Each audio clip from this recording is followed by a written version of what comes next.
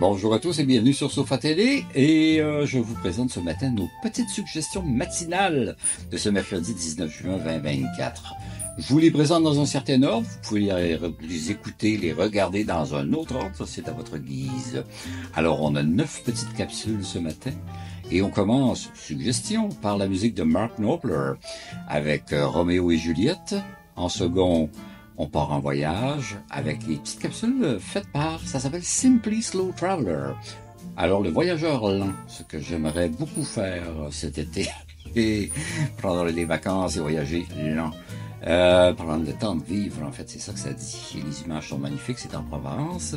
Ensuite, on passe à une petite capsule de équilibre mental, je dirais, avec Jewel, qui nous parle que dans son déni, eu une période de déni dans sa vie, et ça lui a coûté quelques années. Et elle le regrette beaucoup, mais elle nous dit comment se retirer de ça.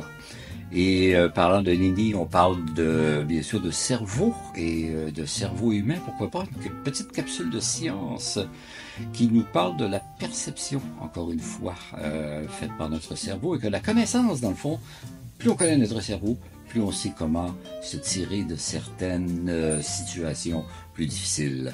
Ensuite de ça, on repart en voyage. Oui, oui, oui, oui, en Toscane. Toujours avec Simply Slow Traveler. Alors, le petit bonheur de voyager en douceur. Euh, et on passe maintenant à quelque chose d'un peu plus culturel. Breakfast at Stephanie, at Tiffany. Ça vous dit quelque chose? Stephanie's? Et c'est une capsule de Blue Up, cette fois-ci, qui nous fait découvrir Audrey Hepburn. Et ensuite, un autre petit documentaire d'une dizaine de minutes, si je me souviens bien, sur Tom Ford, euh, le designer euh, qui est anglais, américain, britannique, je ne sais pas. on va le découvrir ensemble. Et ensuite de ça, je vous ai préparé aussi une belle capsule, en fait, un deux heures de slow jazz. Euh, pour travailler, c'est magnifique, ou pour réfléchir, ou pour regarder et trouver l'idée qui fera que votre journée sera la meilleure au monde. Et on finit par une capsule un peu obligatoire. C'est une capsule de nouvelles.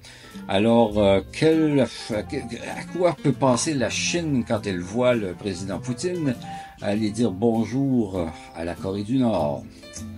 Hein? C'est tout un, tout tout un coin du monde, ça. Alors, bon, avant-midi, pardon, à tous. Mon nom est Pierre Moffat et on se retrouve avant dîner pour la suite. Bye bye.